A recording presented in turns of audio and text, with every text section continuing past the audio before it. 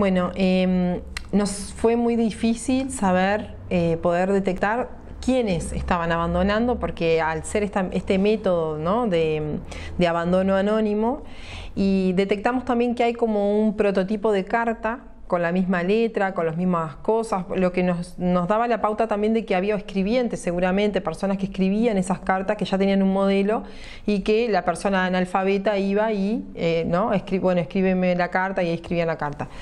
Entonces, hicimos toda una clasificación de, eh, de las señales. Entonces tenemos las señales afectivas, que nosotros llamamos, y las, señales em, informativas. Las informativas son aquellos papelitos donde em, la nodriza, por, eh, perdón, la partera da información básica del niño. Nació tal día, tal hora, em, eh, no sé, fue eh, cristiano, o sea, si fue bautizado o no fue bautizado, o agua de socorro, ¿no? Esa información básica. Esa es la que nosotros clasificamos como informativa. Quiere decir que no hay una intencionalidad de recuperación. Por otro lado tenemos las afectivas, que dentro de las afectivas hay cartas donde hay motivos de, por qué están abandonando, explican, ¿no? Y dentro de los motivos tenemos, por ejemplo, bueno, enfermedad de uno de los progenitores, ya sea de la madre o del padre, falta de recursos, esa es la mayoría de toda falta de recursos, falta de leche por parte de la madre, después... Em, algunos enfermedades mentales ponen locura, ¿no? enfermedades mentales ponen algunos, muy pocos. Eh, otros eh, también son enviados por el juez ¿no? o por la policía que fueron encontrados y los ponen en el torno. Eh, nosotros analizamos, bueno, qué significan estas señales, cuál es el significado, ¿no? Hay un lenguaje que es simbólico, hay un lenguaje que, no, que muchas veces no dice palabras, pero que hay símbolos. Vemos que estas señales están atadas al cuerpito de los bebés, estas señales están con cintas, la mayoría todas tienen cintas de colores. Y no siempre coincide con esto de que el rojo las nenas o el rosa las nenas y el azul los varones, no, porque ese, ese concepto de que el rojo y el azul para las nenas y los varones es del siglo XX, viene entrado el siglo XX, mediados del siglo XX.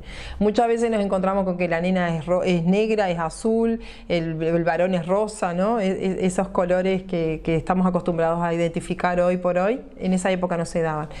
Entonces, ¿qué significan estos cordones? ¿Por qué están atados al cuerpo como para que no se pierdan? ¿no? Entonces, ahí nosotros vamos, yo voy ¿no? a Starlet Fargue, que es una francesa que también trabajó estas señales, y ella habla que el cordón como símbolo del cordón umbilical, ¿no? de esta madre que no quiere separarse del hijo. Entonces le ata como estos objetos, como una forma de decir, te dejo, pero te dejo guardado con este santo, ¿no? con esta estampita, o con este rezo, le hacen una oración, o con esta, este rosario, esta virgen Entonces es como una forma de los padres continuar cuidando de ellos, ¿no? Lo dejan en la caridad, en manos de Dios, de la caridad divina, que era, considerado el, asilo, y con este, esta cantidad de objetos en, su cuerpo, ¿no? Que son objetos que, simbolizan cosas, que simbolizan afectos, que simbolizan dolores, que simbolizan imposibilidades, que, que simbolizan silencios también de por qué estaban abandonando. ¿Quiénes abandonaban? Es difícil saberlo no sabemos a qué, clases, a qué clases sociales pertenecían. Podemos ver de repente en las fotografías que, bueno, no todo el mundo podía sacarse fotografía, de repente podrían ser de clase alta, ¿no? Los que dejaban fotografía. O capaz que eran fotografías del patrón que robaban, ¿no? Y le cortaban para dejar de señal también. No, no podríamos decirlo, es difícil saberlo, ¿no?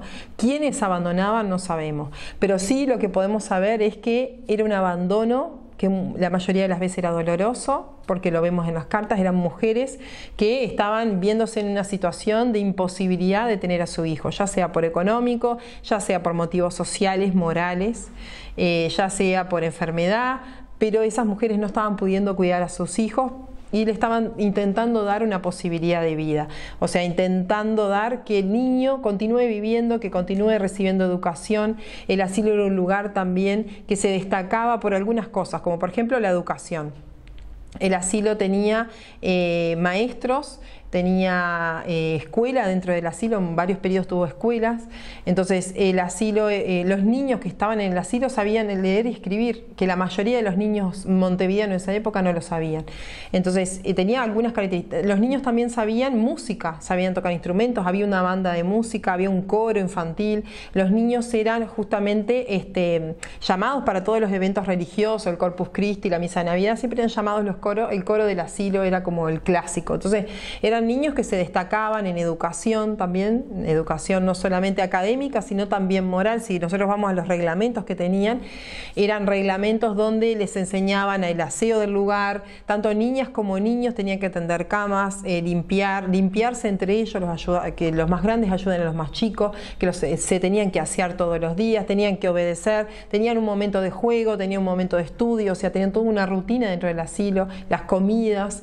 Entonces eso nos lleva también a entender y a poder acercarnos a lo que era la vida cotidiana de estos huérfanos, que estos huérfanos que han sido olvidados por la historia y que la idea de, de este proyecto es justamente rescatarlos a la luz y bueno, mostrar. En este momento estoy escribiendo un libro con esta investigación que eh, la idea es justamente bueno, poder hacer como un referente de esta historia de la infancia en el Uruguay en el siglo XIX, de estos huérfanos en concreto, que dentro de los marginados de la historia son uno de los más marginados, ¿no? que son los huérfanos, los que han sido olvidados, donde sus registros quedaron traspapelados también.